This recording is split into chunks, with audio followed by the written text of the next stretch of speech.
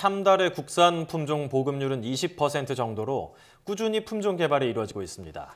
또 최근에는 비타민이 많이 들어있거나 산도를 낮춘 품종이 개발돼 농가에 큰 보탬이 되고 있습니다. 오태인 기자가 취재했습니다. 보기에도 먹음직스러운 참달의 수확이 한창입니다. 농촌진흥청에서 개발해 농가에 보급한 골드원 품종입니다.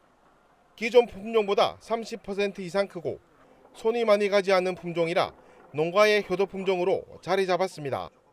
영양제를 그 사용하지 않아도 충분히 그 대가를 키울 수 있는 요, 요건, 그 다음에 그 풍미나 맛이나 당도에 있어 가지고 그 소비자들이 굉장히 선호할 수 있는 그런 품종이라고 생각합니다. 이번에 첫 선을 보인 품종은 레드비타와 감록입니다. 레드비타는 기존 품종보다 비타민C가 두배 정도 많은 140mg을 함유하고 있습니다.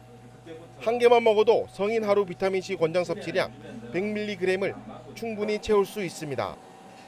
감록은 당도를 14브릭스에서 18브릭스까지 높여 새콤달콤한 맛을 자랑합니다.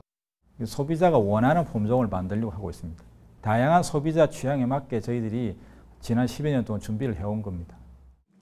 농촌진흥청은 1990년대 후반부터 참달의 품종 개발을 시작해 지금까지 21개 품종을 농가에 보급했습니다. 다양한 참달의 품질 개발로 국산 품종 보급률이 30%를 앞두고 있습니다.